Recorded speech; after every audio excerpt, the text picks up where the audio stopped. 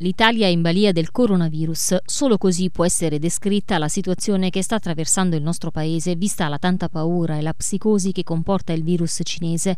La situazione in Italia al momento è palesemente complicata. Siamo il terzo paese al mondo per contagi che ora hanno superato quota 200. Il nord Italia è per buona parte isolato. Le vittime sono salite a 4 e la gente prende d'assedio i presidi ospedalieri e supermercati in preda alla paura di aver contratto il virus.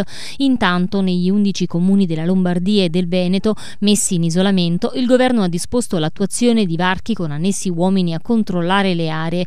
Al sud e nel Cilento la situazione è migliore, ma la gente ha paura. Annullate tutte le gite scolastiche, mentre le amministrazioni locali e quelle sanitarie hanno cominciato a predisporre tutte le misure necessarie per evitare contagi e sono già state attuate. Infatti il protocollo di sicurezza nel Cilento è stato attuato per due famiglie, una di Camerota e una di Buccino Ticino. In entrambe c'era stata la presenza in uno dei focolai lodigiani, ovvero Codogno, quindi è stata disposta la quarantena. Le varie amministrazioni locali invitano chi torna dal nord a contattare le autorità per informarle e di utilizzare il numero verde regionale 890 96 99 attivato tutti i giorni dalle 8 alle 20. Il personale sanitario risponderà per fornire indicazioni, tuttavia in caso di dubbi il servizio è a disposizione anche per informazioni di merito.